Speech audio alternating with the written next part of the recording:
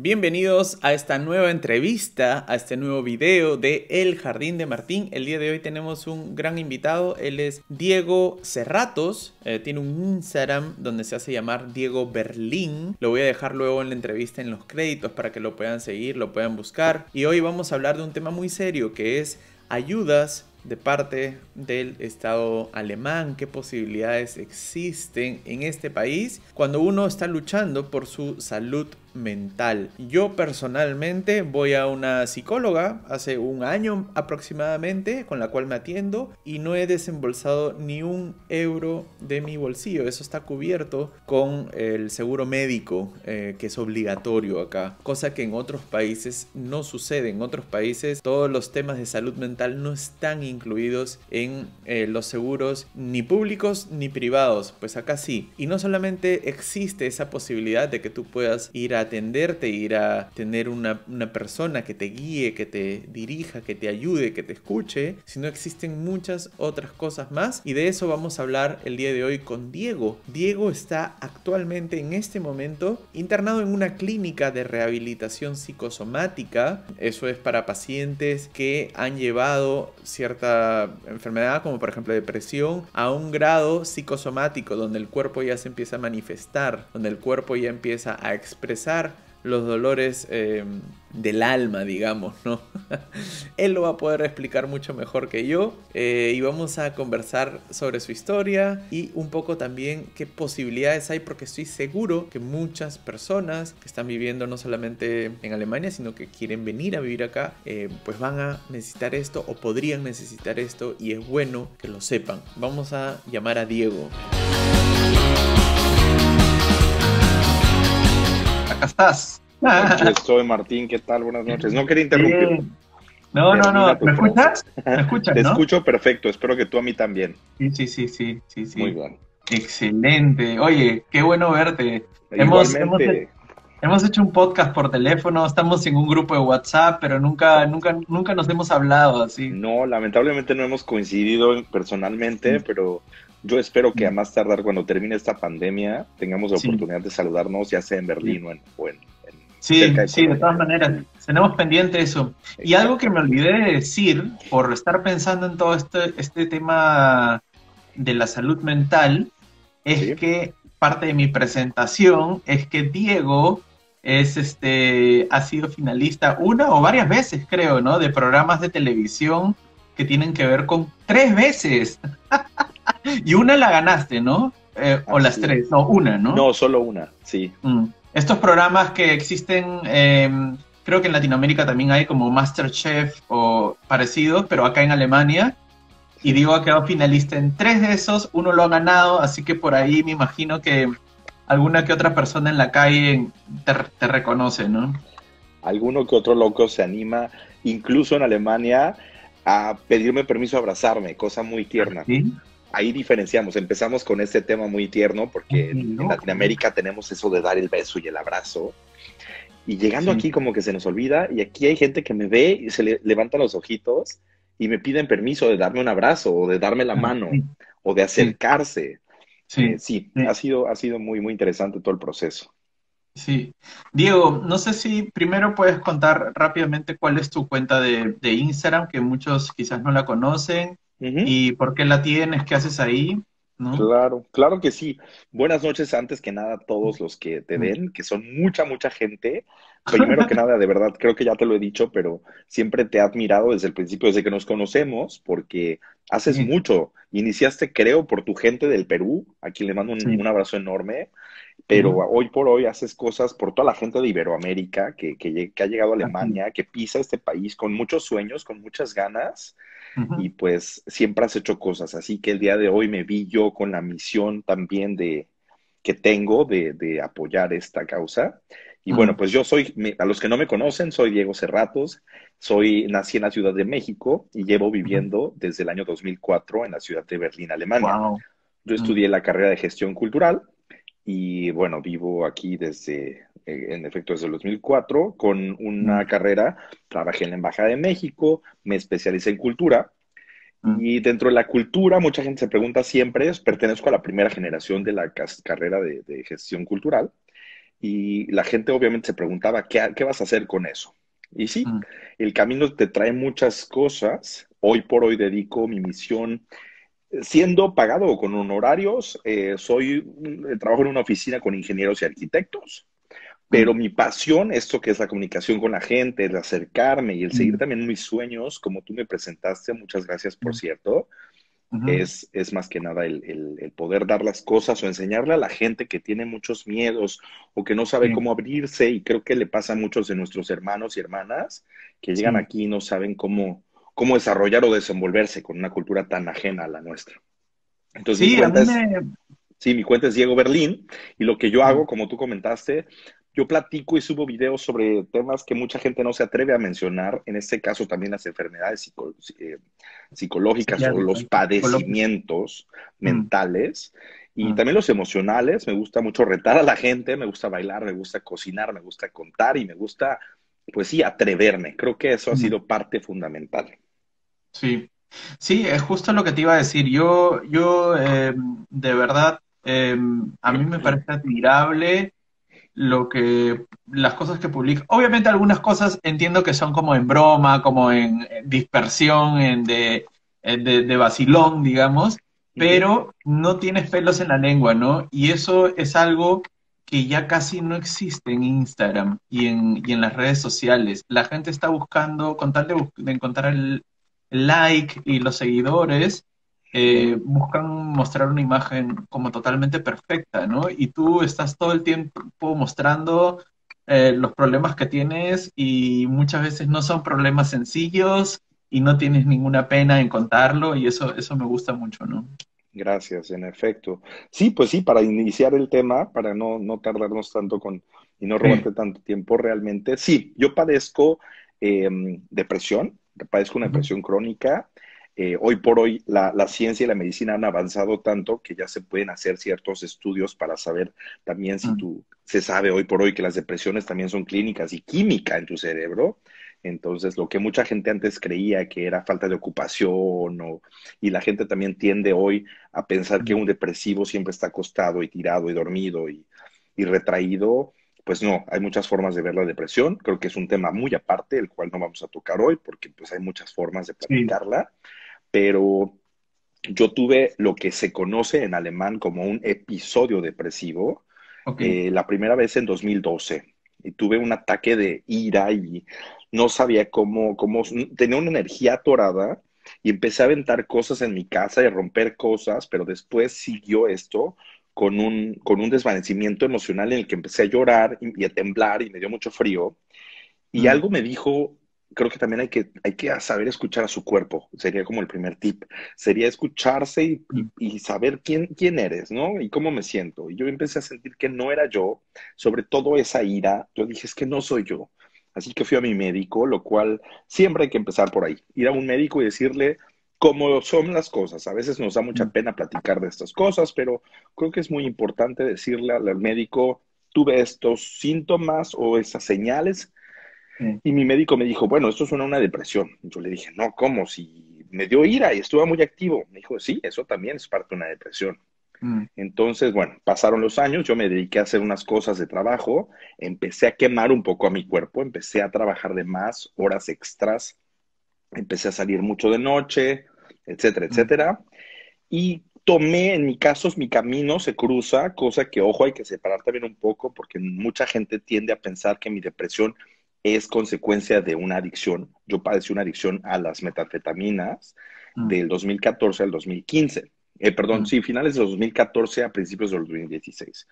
Y pues sí, las metanfetaminas o todo tipo de anfetaminas van absorbiendo un poco la serotonina en tu cerebro, mm. entonces se tarda mucho y eso te tira una depresión, la cual yo ya tenía, entonces me caí en una depresión más profunda y tardas más en recuperar. Un catalizador, ¿no? O sea, es, la metanfetamina, bueno, es una droga o... Una de las... Es, hoy, hoy por hoy la metanfetamina, o conocida en el mundo como crystal meth, es la droga más, Sí, para la gente que conoce esa serie, es la peor droga del mundo. Y sabes qué? que yo en su momento llegué a decir, ay, no, no es la mala, no es la peor, no es heroína. Pues no, hoy por hoy sé que es peor que la heroína. Mm. También como la heroína causan una adicción instantánea. Solamente un 0.08% de la gente que intenta dejar esa adicción lo logra. Así que me siento muy orgulloso de haberlo hecho desde febrero de 2016.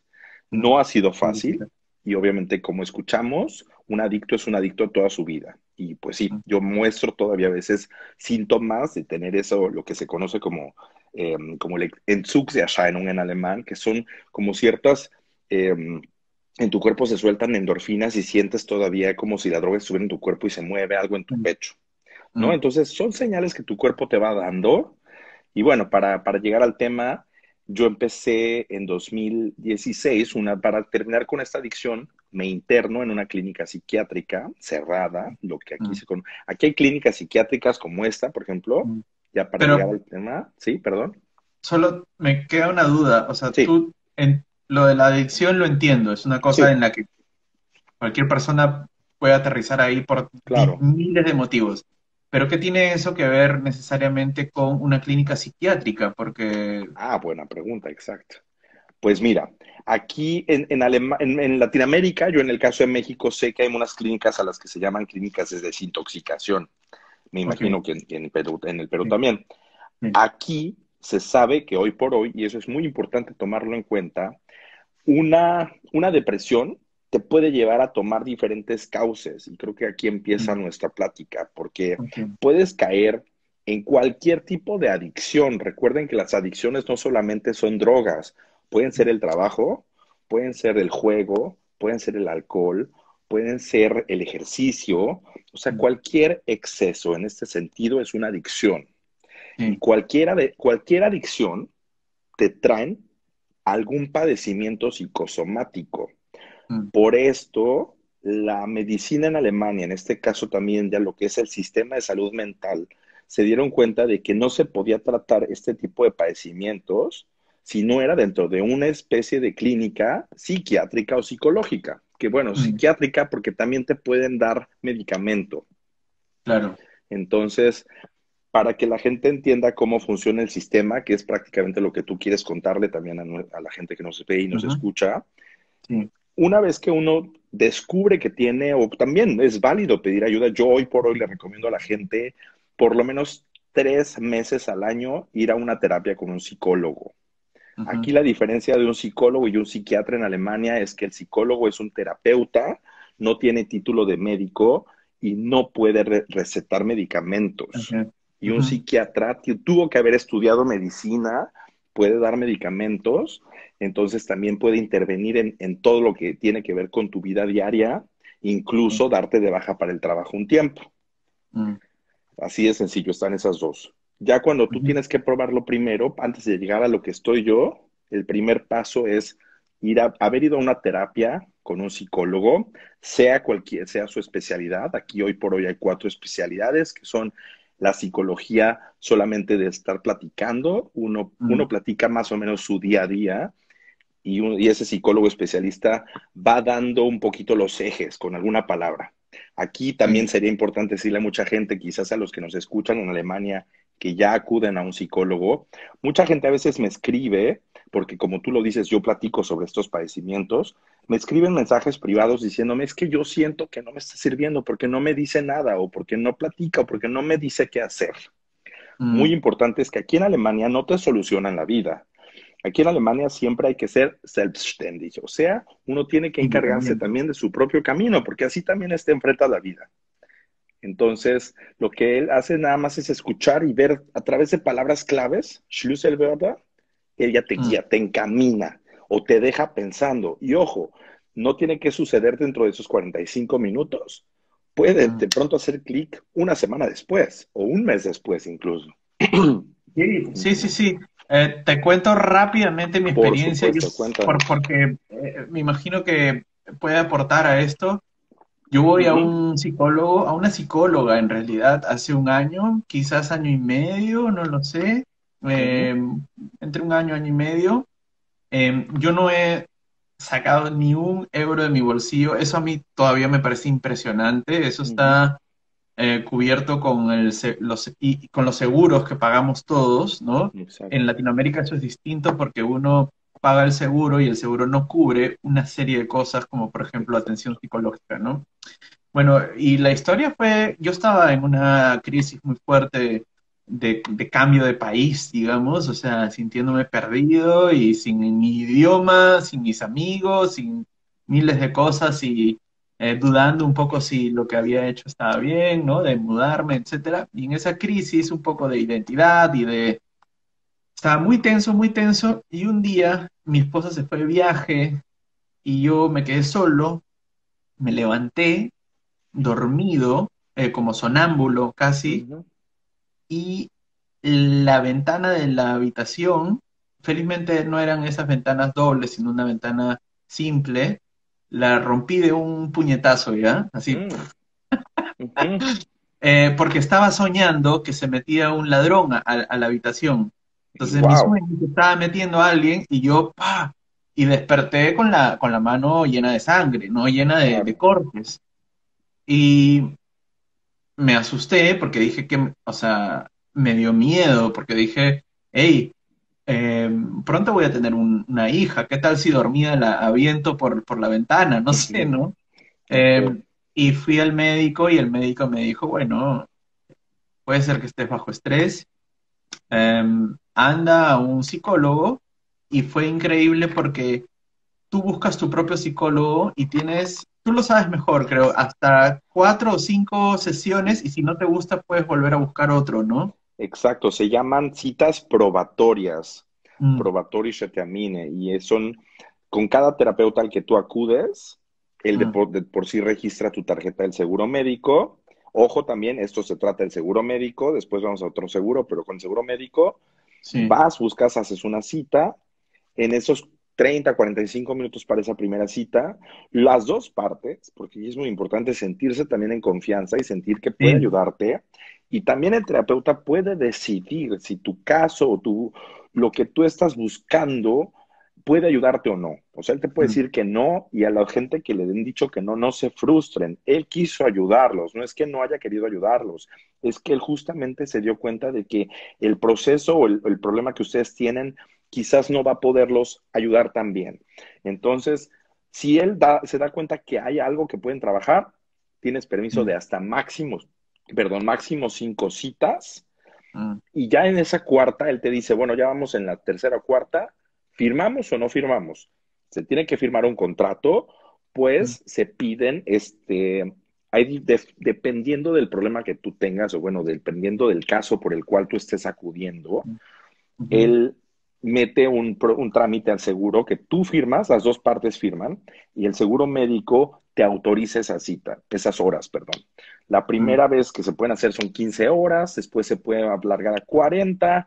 En un caso más profundo como el mío, de entrada se pidieron 60, te las autorizan y ya todas esas horas, como tú lo dices, él se encarga de cobrárselas al seguro.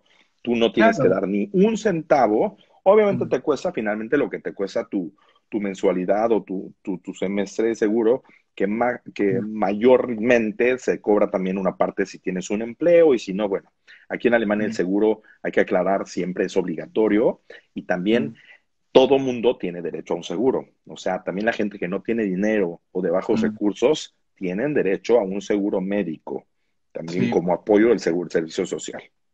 Sí, eso, eso, eso me gustaría dejarlo claro, ¿no? Acá es obligatorio tener un seguro por ley, o sea, para vivir acá tienes que tener un seguro y ese seguro te soluciona muchas cosas, ¿no? Em, que quizás en Latinoamérica, cosas que no se solucionan eh, porque no están cubiertas en los seguros, porque los seguros, seguros son privados. Acá la mayoría tienen como el, mismo, son, funcionan igual.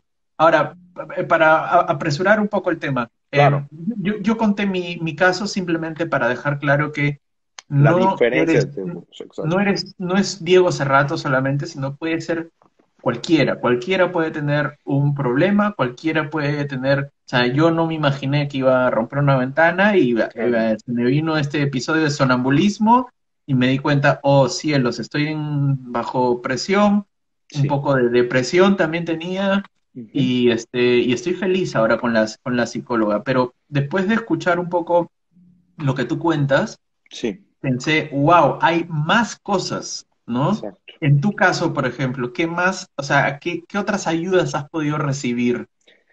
Muy bien. El, oye, gracias también por contarnos tu caso. El, en ese caso, yo también avanzo del primero, que es el seguro médico, que me envía a una, a una terapia normal, tradicional. Yo tengo un terapeuta desde hace dos años, con, el cual acudo igual que tú, una hora cada ocho días.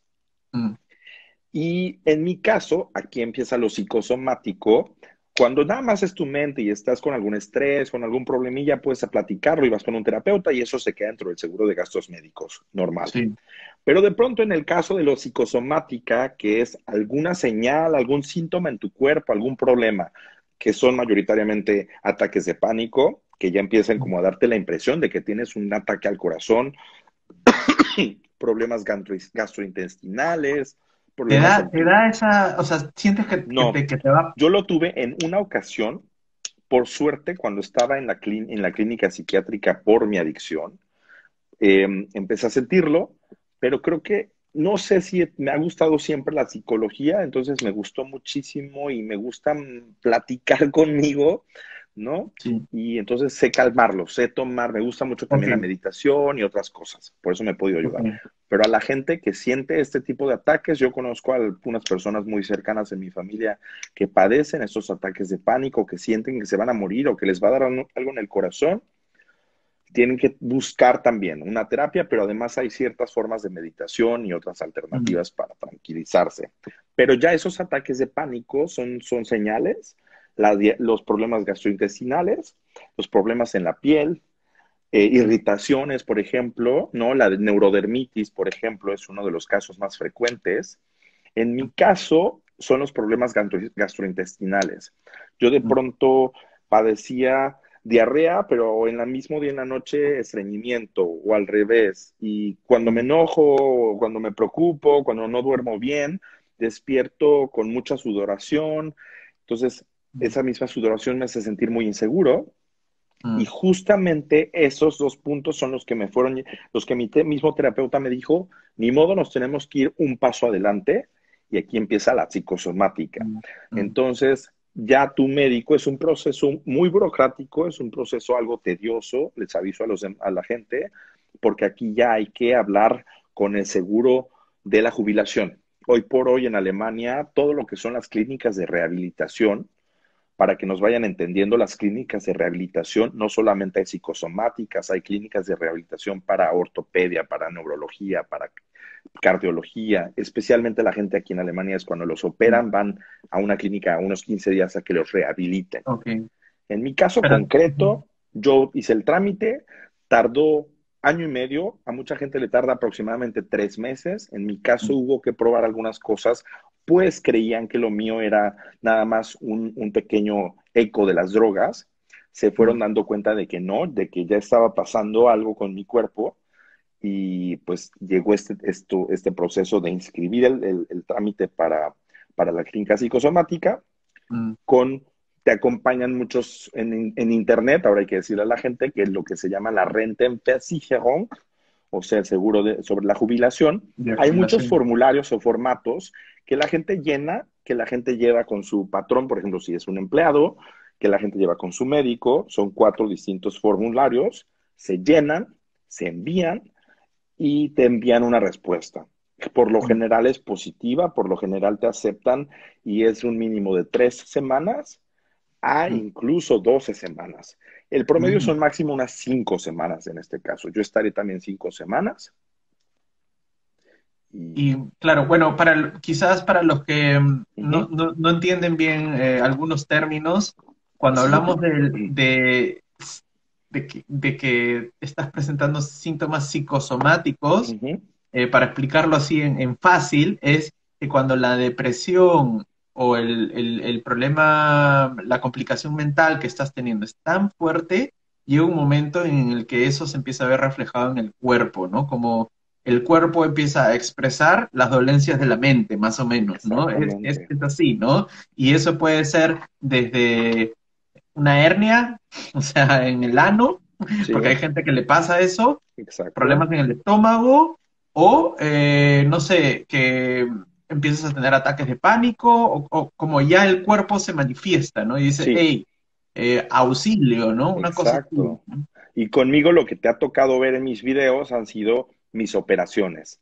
En mi caso, mis brazos empezaron a, yo, yo padecí, padezco algunas inflamaciones, la gente podrá ver aquí, por ejemplo, ya estas son marcas de cirugías, me han tenido que operar un aproximado de siete veces, entonces cada operación obviamente trae, sea muy ligera o no, lo se tienen que hacer un pequeño corte y demás. Cada operación te trae siempre una consecuencia que es muy pesada para el cuerpo, ¿no? Aunque no sea una anestesia completa, te sientes muy pesado. Entonces, yo decía, ¿por qué me siguen saliendo abscesos? Si me siento muy bien, si voy a mi terapia, si estoy activo, si estoy comiendo bien. Y creo que ahí es donde la gente empieza a tomar esa alarma, porque pues sí, no sientes, sientes que tu mente ya está funcionando bien, sientes que ya estás contento, pero tu cuerpo algo señaliza que algo no está bien. Eso justamente es la psicosomática. Como tú lo comentas, son señales, son síntomas e incluso enfermedades, porque pues un, un infarto al corazón puede derivarse de una psicosomática. Entonces, es muy interesante eso. Y justo te iba a preguntar un poco por eso, porque eh, tú hablas de depresión, pero lo que yo veo eh, un poco de ti es que eres una persona súper alegre, muy alegre, eh, muy enérgica. O sea, ¿hay otros momentos en los que estás, estás depresivo o eso fue antes? ¿O es una cosa como que, ¿cómo lo describes? Porque lo, lo pregunto porque debe haber mucha gente que lo tiene y no lo sabe, quizás. Exacto, justo hoy antes, previo a esta entrevista, me fui a una cita con mi terapeuta justo para preguntarle de qué, de qué forma manejarlo con la gente, porque yo también tenía un poquito de miedo, porque son temas tan serios y para mí de tanta importancia. Y en efecto, en mi caso, la gente también puede ir con el médico primero y darse una valoración de qué tipo de depresión tiene. Pues se puede saber hoy en día, dependiendo de tus señales o de cómo es tu tristeza, tu angustia o tu pánico, tu energía, tu miedo, qué tipo de depresión tienes. Antes que nada, es eso. Eso se puede ver con tu terapeuta y con tu médico de cabecera. Y a tu pregunta, sí, lamentablemente la depresión que yo padezco es crónica, no se puede curar. Yo tengo dos síndromes, se llaman uno se llama síndrome histriónico. Es muy, muy chistoso porque además pasa muy bien con mi, con mi personalidad. especialmente nosotros que somos latinos, cuando escuchamos eso de histriónico pensamos en las telenovelas o en el drama, exactamente. Y pues sí, así soy, hoy por hoy, por eso me entiendo cada vez más, pues en algunos momentos yo llegué a pensar que yo ya estaba volviéndome loco, se me estaba yendo a las cabras al monte, como decimos en México. Entonces, fui con mi médico muy preocupado porque yo ya me estaba cansando, mi energía la estaba malgastando. Mm. Creo que esa es una señal también. Hay mucha gente que está activa y ahí te respondo mi tu pregunta.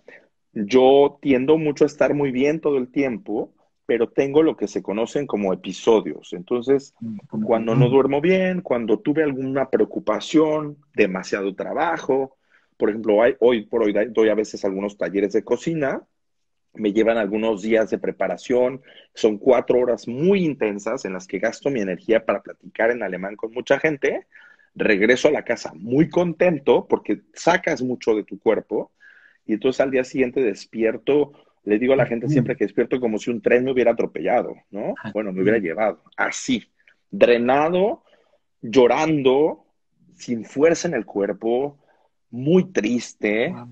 Entonces, es, son escenas que mucha gente no querría ver. A mí no me da pena enseñarlas, pero procuro ya no, ya no subirme a ese tren. Sí, sí, No, pero me encanta que lo describas porque creo que es algo que, que la gente tiene que saber para que a los que tienen esto lo sepan identificar también, ¿no? Sí, son, son cosas muy fuertes porque a veces, y creo que eso no nos gusta a nosotros los latinos, aceptar también a veces ese tipo de cosas. No nos gusta vernos al espejo de esa forma. Y sí es muy importante que aceptemos. A mí me, costó mucho trabajo aceptar que es un proceso por el que voy a llevar toda mi vida. Y creo que también es eso, justo porque conozco esos hoyos negros, como mucha gente les dice, esos, esos episodios, sé tratarlos mejor hoy por hoy. Porque no hay cura, pero sí hay tratamiento. Entonces, esa es la esperanza para la gente que nos ve. Yo, por ejemplo, ya me vas a poder ver diario, desde hace dos semanas, diario, diario, diario. Lo que yo hago, por ejemplo, es levantarme y poner música y bailar y reírme. Mm. Y así engaño a mi cerebro. Tú sabes, mm. puedes engañar a tu depresión vivir con ella de la mano y decirle que está muy feliz tu depresión. Muy buena esa. Eh, hay, una persona, hay una persona que pregunta, dice, no entiende bien eh, eh, esa relación entre mm, el, seguro de jubilación con este tipo de ayudas que tú estás recibiendo. porque lo normal sería que a través de la, de la Krankenkasse, ¿no? Del, del eh, ¿no? Como el... Justo, eso es algo muy lamentable. Y sí, en efecto, hasta hace más o menos un año, el seguro de, tu, de gastos médicos, tu Krankenkasse, se encargaba de todo. Lamentablemente, por una, por una ley ya federal, todo lo que tiene que ver con, la psicosomática, más bien con las eh, clínicas psicosomáticas, cuando ya son para un proceso así, como es un proceso ya burocrático y que además determina si tu depresión te va a permitir trabajar o no, son ellos los que tienen que hacer una especie de peritaje. Entonces, te envían primero a un médico perito, ellos revisan cómo es tu, cómo son tus síntomas, tu sintomatología, y es ahí donde se encargan ya de seguir el proceso. Pero esto lo hicieron de modo que ya el seguro de jubilación sea quien se encargue de las clínicas de rehabilitación. Porque en la clínica misma, una vez que uno llega, te hacen evaluaciones de todo tipo que te puedas imaginar y es donde ellos deciden poco a poco, dependiendo de tu programa, se tienen que imaginar que yo aquí diario tengo desde las 6 de la mañana hasta las 5 de la tarde más o menos diversos, diversas actividades. Y ellos a través de todas estas actividades, que no son realmente para curarte, son para que ellos puedan determinar a lo largo de las primeras dos semanas si puedes volver al trabajo. Hay mucha gente que definitivamente después de esto no puede volver al trabajo. Entonces lo que hacen ellos es encargarse también de ver tu prejubilación.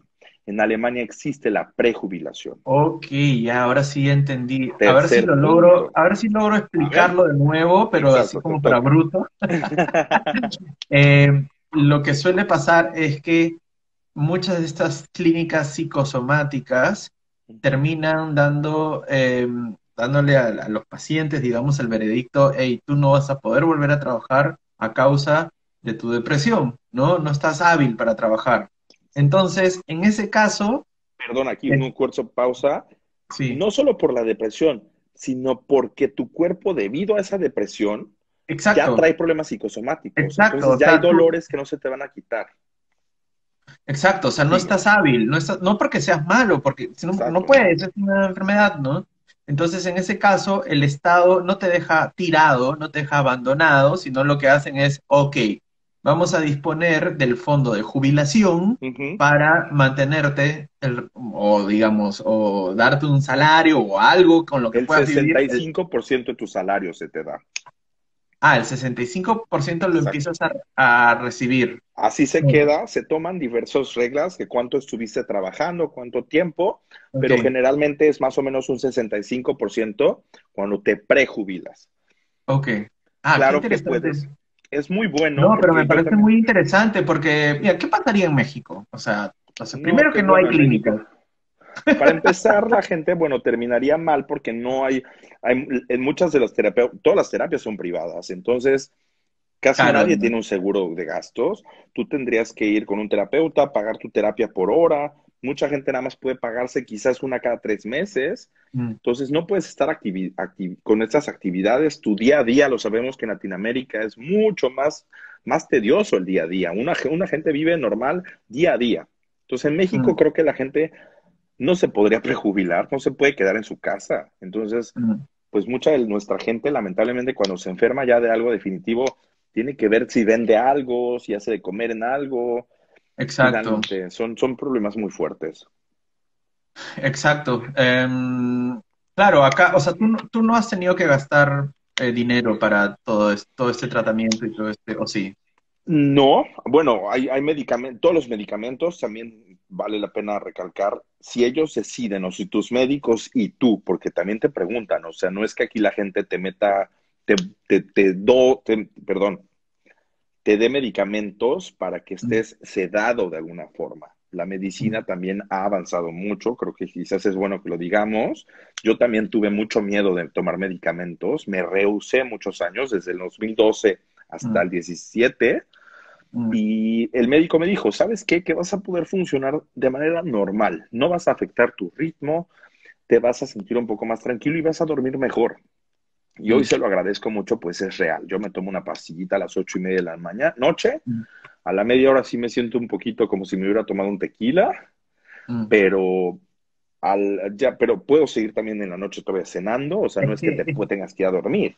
Y ya cuando llego a mi casa, me relajo. La gente le tiene, la gente, mucha gente tiene mucho miedo a estos temas porque hay estos tabús de, oh, estás loco, ¿no? Eh, ya con ir al psiquiatra, eh, uno cree que está loco, ¿no? Yo eh, tengo algunos amigos que toman pastillas para distintas cosas y sin nombrar los nombres, evidentemente, porque no tengo el permiso de, nombrarlos a ni nada, pero por ejemplo, uno, eh, recuerdo que, me contó su historia, él tenía como, por ejemplo, eh, cuando le daba la mano a alguien, sentía que la nariz de la otra persona se le iba a pasar, ¿no? O sea, mm. como...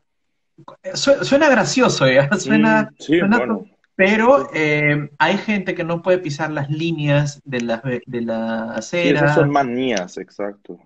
Claro, pero eso muchas veces em, tiene que ver con temas psiquiátricos. Totalmente. La, depresión. Em, gente que tiene trastornos de, de esquizofrenia. esquizofrenia. Y, y, no es, y lo que hay que dejar en claro es que todo esto no es porque uno lo decide, no es por culpa de uno, sino es así, simplemente, y uno tiene que aceptarlo y aprender a manejarlo, ¿no? Y lo que me parece genial de Alemania es que tienes eh, al menos la seguridad, así lo veo yo, no sé, de eh, poder aceptarlo eh, y saber que alguien te va a apoyar, ¿no? Yo lo veo así. No, totalmente. Ahora que mencionas, por ejemplo, y yo siempre ahora digo mis hermanos locos, pero no, es, es de broma. Pero justamente la gente que padece, por ejemplo, trastornos de esquizofrenia, psicóticos, manías, mucha gente escucha los maníaco-depresivos. Mm. En, Latinoamérica, la mayoría de los casos son internados definitivamente en una clínica cerrada y no salen.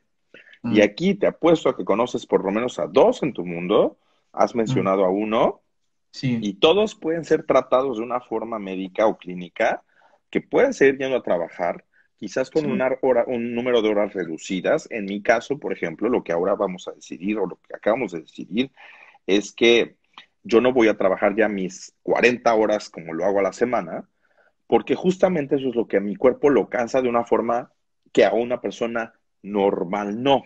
Entonces, yo trabajaré menos horas al día y mi seguro de la jubilación me dará una parte, la parte que diferencia esas, esas horas que faltan a mi patrón, para que mi patrón mm. pague menos, mm. para que pueda seguir trabajando y para que el seguro te apoye, no te deje caer, porque si no, no te alcanzaría trabajando menos. Mm.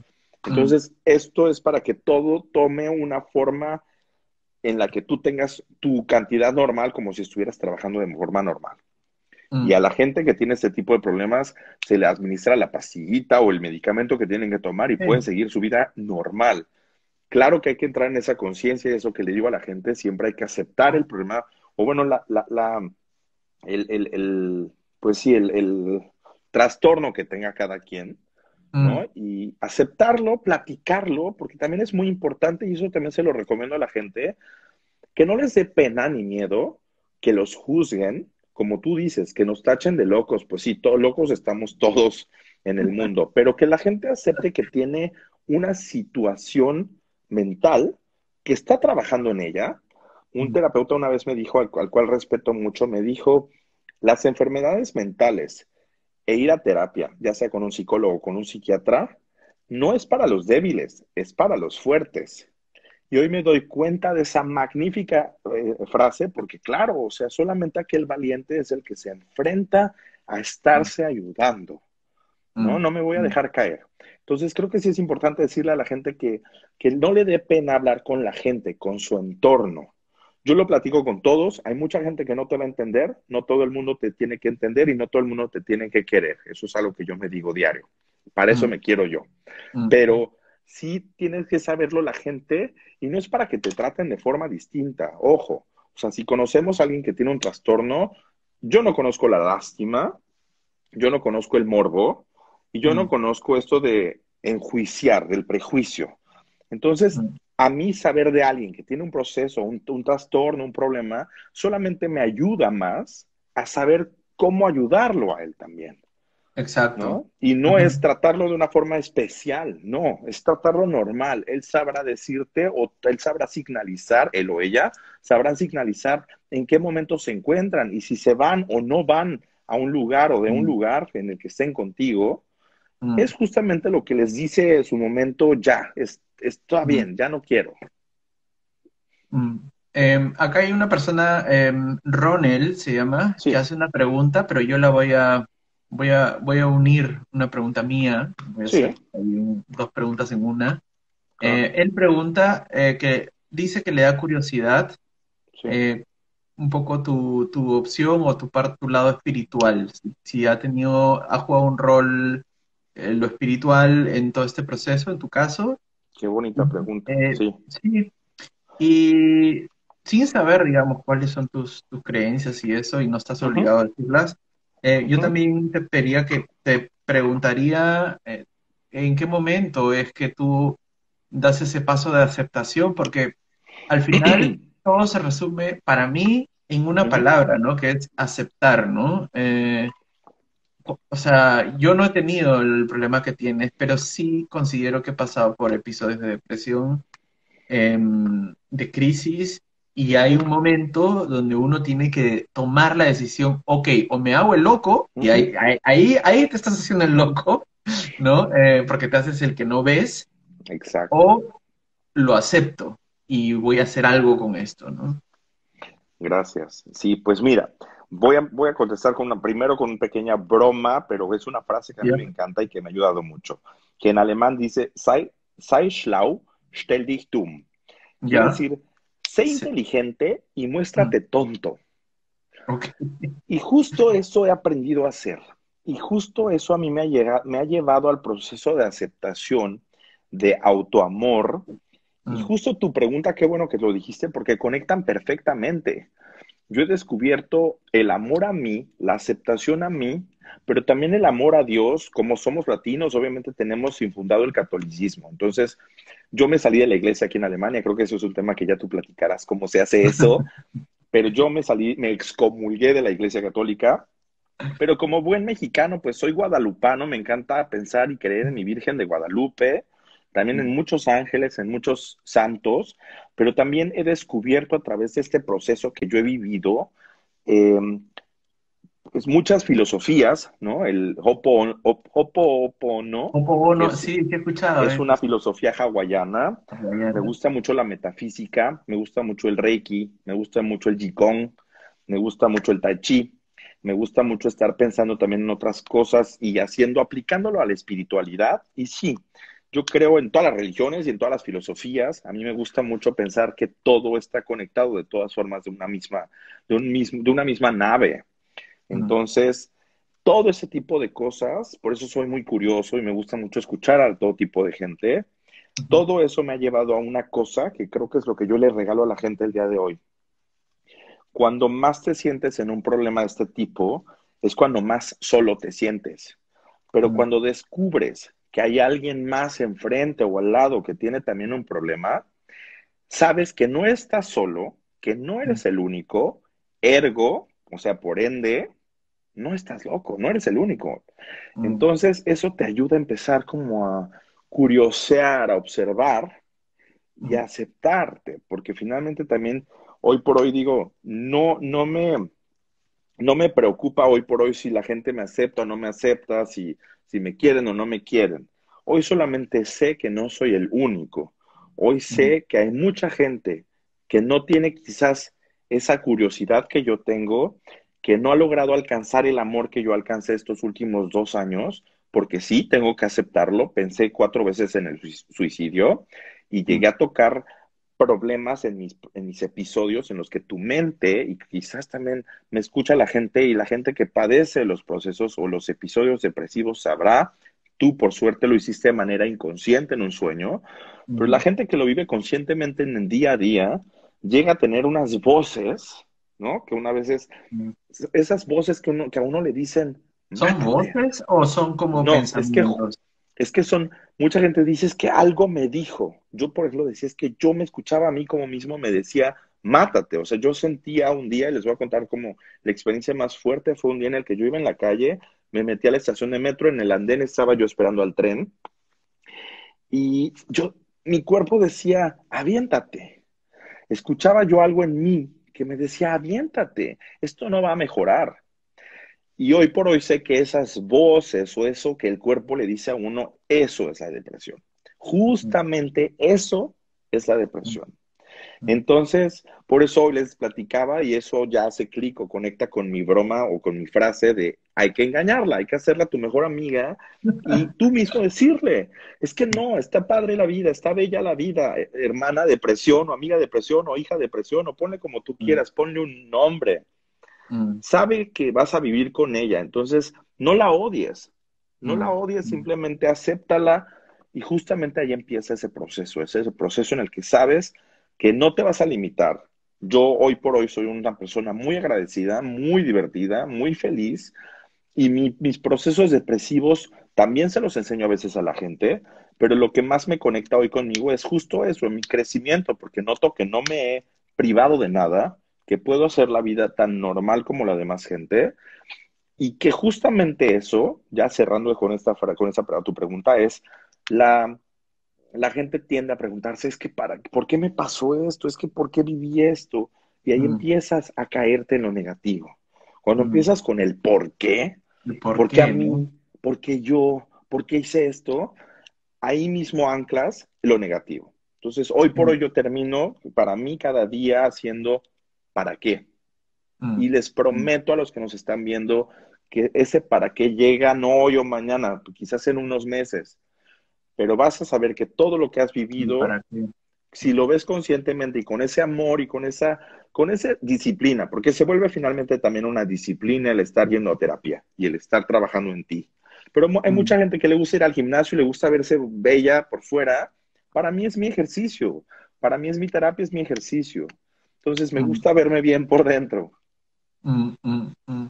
Sí, em, y de repente saliéndonos un poquito del contexto de, de Alemania, inmigración, yo creo que el tema del coronavirus ha, traído muchos de estos casos, ¿no? O sea, yo, yo mismo me he experimentado este año eh, enfrentando muchas más veces ese por qué, esa, esa pelea de, ay, pero ¿por qué? ¿Pero por qué? Yo quería, quiero visitar a mis papás, no puedo, pero ¿por qué? Quiero salir, pero ¿por qué? ¿No? Eh, y mucha gente ha tenido este año en concreto que afrontar ese, pero ¿por qué? ¿Por qué no puedo conseguir empleo? ¿Por qué hay coronavirus? ¿Por qué no puedo, eh, no sé, eh, o sea, cuántos problemas han habido por, por, este virus? Y este, creo que esto que tú dices es muy valioso para, para todo lo que ha ocurrido este año, ¿no? Hay, hay, o sea, más allá de la migración, de la crisis del migrante o la, el, ¿cómo se le llama? El duelo, el duelo migratorio, duelo migratorio las ayudas en Alemania. Creo que esto, este año, es una reflexión que deberían tener, deberíamos tener todos, ¿no? Pero para que, sobre todo para que la gente entienda ya, y creo que dice un muy buen ejemplo, ese por qué, por qué, por qué, que empieza nada más como un deseo o una frustración, te mm. puede llevar a algo psicosomático, que son los ataques de pánico, que mucha gente en esta pandemia ha experimentado. claro. Les da esta, lo que se llama esta intranquilidad, les da esta falta de aire, se sienten asfixiados, se sienten desesperados. Uno hoy los ve con su mascarilla en el metro y ves a la gente que le está dando un, un problema nervioso. Yo lo que hago es platicar con ellos. Yo no tengo miedo de hablar con desconocidos y de verdad, platico con ellos y les hago algún chiste sobre la máscara. Es que también creo yo que hasta este tipo de situaciones hay que verlas con mucho humor. El humor se ha vuelto una parte fundamental de mi vida para poder contrarrestar esto. Y va a sonar muy feo lo que voy a decir, pero la, la, la pandemia, el coronavirus, se sabe hoy, ¿no? Que ha traído lo mejor o lo peor de mucha gente Mm. En efecto, yo durante toda esta pandemia no he tenido un solo episodio depresivo, no he ah, tenido una sola histeria, no he tenido una sola depresión, no he tenido un solo, una solo, un solo episodio de inquietud. Todo el tiempo me la he pasado más feliz que nunca. ¿Y sabes qué es? Que cuando he logrado salir o cuando he salido a algún lugar, me he topado con alguien agresivo, histérico, en algún proceso de intranquilidad, nervioso, negativo, enfadado. Y entonces ver a esa gente de pronto de fuera, ahí es donde yo digo, no, es que yo estoy muy bien. Mi, mi hermana depresión y yo estamos muy felices porque hemos aprendido quizás dentro de estos episodios a, a, estar en un confinamiento dentro de nosotros, ¿no? Entonces la gente que padece la depresión y que ha estado dentro, ya en conciencia sabrá a lo que me refiero. Poco a poco aprendes a descubrir cuáles son tus momentos y eso se lo prometo a toda la gente que va a una terapia o que vaya a una terapia, va a ir descubriendo cómo poco a poco vas concientizando. Creo que eso es la palabra más importante de hoy. Concientizar tu padecimiento y quién eres, cómo estás. Y justo eso te va dando esas herramientas para que no, para que no caigas en estos, en estos episodios, que es lo que yo les decía. Yo me, me, me mentía al principio o engaño a mi cerebro para decirle que está muy bien. Sí, sí, está buenísimo. Justo así funciona.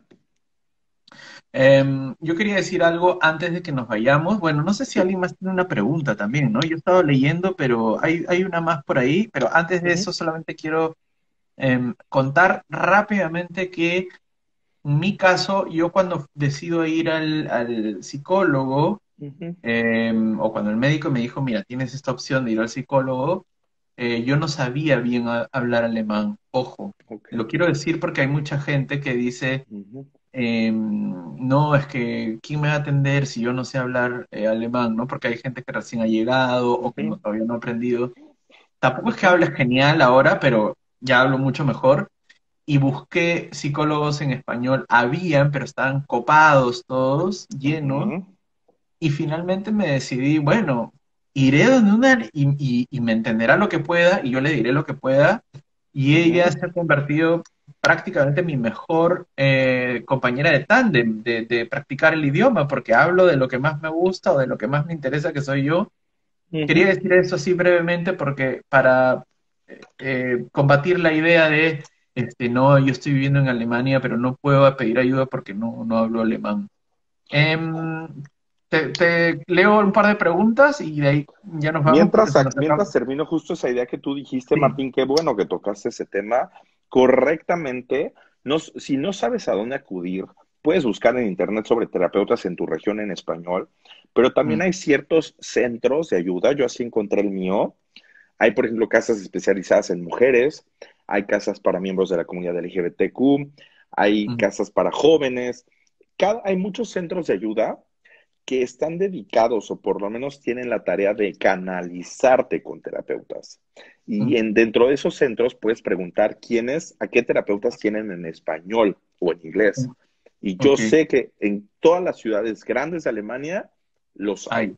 Sí, sí hay. Eso ya es algo que ya tengo más que, investigado. Sí, sí, sí, Acá hay alguien que ha hecho un comentario, pregunta que me ha parecido interesante. Con esto ya nos vamos. Eh, se, se llama Spong Oiset, así se llama. Eh, dice, hay también familiares que no te ayudan, te ignoran y, y no cooperan nada y te dejan hundido en esa ansiedad y tristeza. Ese es un tema también, ¿no? Cuando los familiares no, entienden lo que está pasando, no ven la magnitud y, y uno se siente como, bueno, o voy solo o mejor no voy si no tengo ese respaldo, ¿no? Sí, bueno, ya pensando en nuestra gente que, que llegó a vivir a Alemania, ya sea que hayan venido solos y su familia en el extranjero o en su país del que provienen, no entienden por qué están así. En mi caso, por ejemplo, mi familia me decía, es que ya regrésate. Pero es que yo les mm. decía, es que eso no me va a quitar mi problema, ¿no? O sea, mm. quizás de hecho lo va a, a empeorar. Pero sí, es muy común que la gente, justo por esa mala información, por todos los clichés y sobre todo cómo se ha ido juzgando al tema de, las enfermedades mentales o trastornos mentales, es que la gente cree que un depresivo ya está mal y que es para tirarlo porque está loco, como tú dijiste. Y no, en realidad no. Tenemos, llega un momento en el que tienes de hecho un poco más de apertura y puedes ver también a la gente y aprecias mucho más cómo te tratan. Y sí, lamentablemente hay mucha gente que no sabe cómo ayudarte. En su mayoría es tu propia familia. Y sí, te tratan, lo que yo decía hace rato, te tratan muy distinto, como, como que tú te das cuenta que se burlan de alguna forma. Pero bueno, eso, eso es, yo hoy creo que todo eso hay que confrontarlo de manera verbal. Yo soy de la idea de que todo este tipo de cosas, sobre todo para que dentro de tu misma depresión no empieces a creer ese tipo de manías que tú decías de algunas personas, porque esto puede ir empeorando. Cuando tú, tú no te sientes contento, tranquilo o tienes alguna duda, esa duda la puede absorber tu depresión, se queda clavada y empieza a crearte cierto tipo de manías o de miedos y ahí empiezan esas inseguridades. Entonces, yo hoy por hoy me he dado cuenta, y aquí lo he estado viendo en la clínica, en los grupos, es que toda la gente que tiene ese tipo de dudas, cuando no la cuestionas o no la confrontas con la gente cercana, por lo menos a la quien más confianza le tengas, que como tú dices, es siempre un amigo o una amiga. Si ese amigo o amiga no te saben escuchar o no, no, saben cómo ayudarte o cómo tratarte, no es que no te quieran, pero quizás es que realmente es demasiado para mucha gente. Sí, es, lo sobrepasa, ¿no? Claro, claro, claro. Mm. Genial. Oye, se nos acaba el tiempo, si no Instagram nos corta. Muchísimas, muchísimas gracias. Eh, sigan a, Diego en su cuenta, Diego Berlín. Em, Con mucho gusto. Y tenemos pendiente, ¿no? En algún momento hacer algo juntos en. sí, claro. y, pues ya vendrán otros temas también, si quieres extender o platicar de otros temas, con mucho gusto.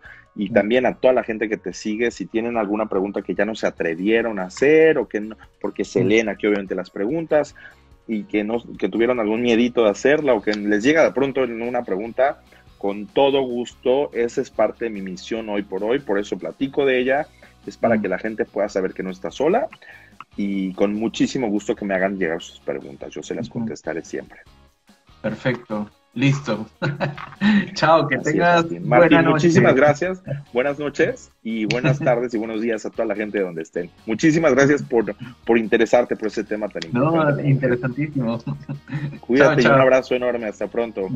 Hasta acá el video de hoy. Te pido que antes de que te vayas te suscribas a mi Instagram. Lo voy a dejar acá. En mi Instagram estoy publicando información adicional. Muchísimas, muchísimas cosas que no encuentras en YouTube. Esta, por ejemplo, fue una rescatada de Instagram. Si quieres saber más cosas y estar en contacto más cerca conmigo, suscríbete a Instagram que te vas a sorprender. Nos vemos en el siguiente video. Chao.